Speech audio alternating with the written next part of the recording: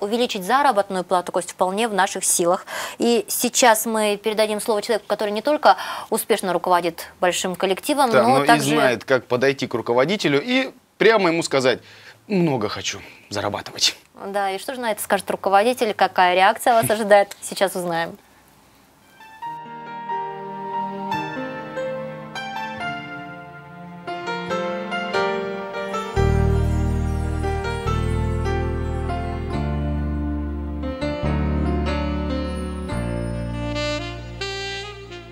Что нужно делать, чтобы получить повышение по службе? Важно сначала самому понять, хочет ли он двигаться дальше по карьерной лестнице, потому что дальнейшее движение – это повышение ответственности.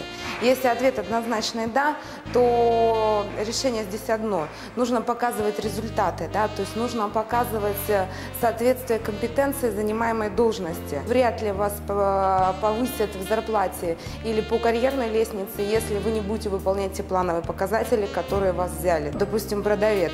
А, Если он не выполняет план продаж, то наверняка его не поднимут по карьерной лестнице, пока он не научится выполнять, перевыполнять.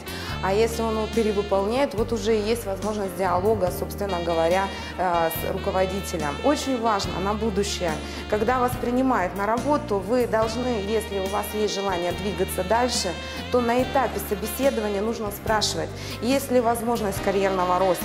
Если э, изначально, когда вас взяли, например, на должность офис-менеджера, и вам четко обозначили, что этой возможности нет э, и не будет, то здесь, конечно, будет очень сложно разговаривать.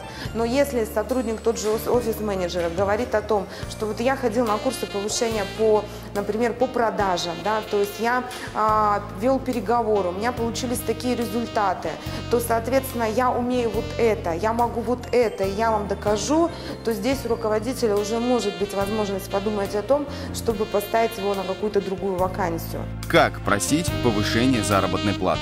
Неправильный диалог. Знаете, вы мне давно, а уже я у вас проработал 5 лет, и вы мне не повышали заработную плату. Прежде чем идти на диалог к руководителю, нужно сделать анализ, а какая на самом деле на рынке заработная плата. Здесь нам помогут э, сайты о работе, да, где соответствующие есть предложения от конкурентов, там всегда пишется заработная плата. То есть э, по- поговорить, спросить знакомых, сколько им платят. И когда у вас есть некая аналитика, и вы понимаете о том, что ваша заработная плата ниже рынка, то уже есть возможность разговаривать.